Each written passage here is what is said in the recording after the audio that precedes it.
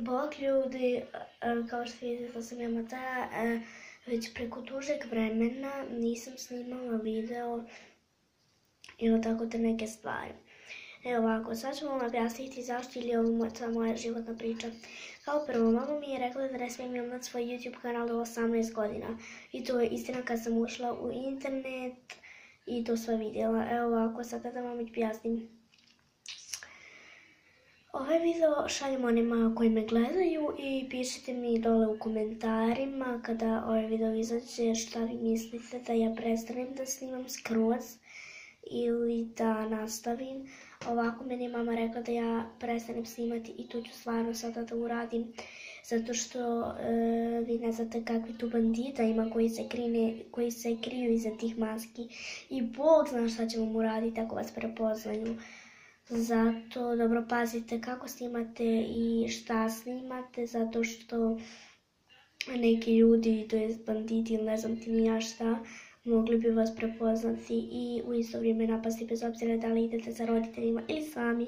Ako roditelji negdje idu unutra, vi budete sami, mogu vas napasti. Ako vidite sa roditeljima, mogu vas uzeti i zaklopiti usta kao da vi ništa ne razumijete, to je za roditelje ništa ne čuju i zbog toga vas jako molim.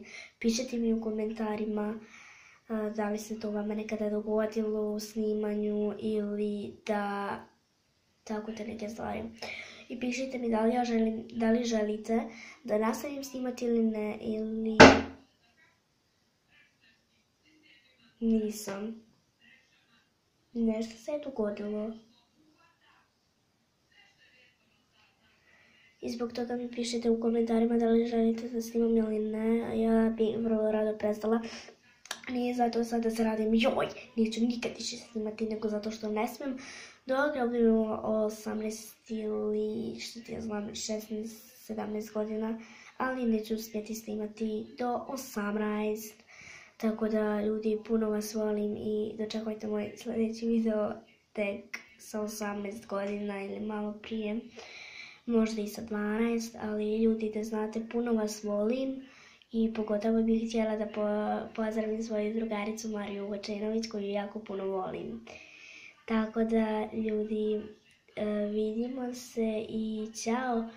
Jako vas puno volim i očekujte moj sljedeći video, ne znam nikada, ali sve vas puno volim da znate i Marija Vučinović i tebe isto puno volim, tako da dragi ljudi, ako se vama nešto dogodi, to jest ako vam se nešto tako dogodilo, pišite mi sve dole u komentarima, link će biti u opisu ovoga videa, tako da um, očekujte moj sljedeći video i svi vas puno volim, puno, puno, puno vas sam se poželila, nemate pojma koliko, tako da puno vas se volim i čao!